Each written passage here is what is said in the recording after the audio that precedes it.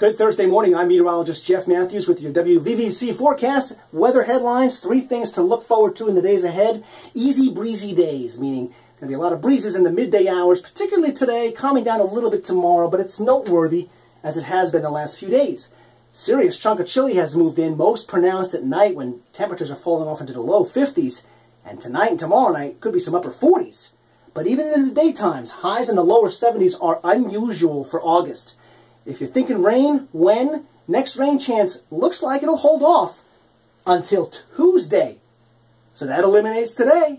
Here's your forecast for today. A mixture of sun and clouds, breezy, just like yesterday, and a high of 72.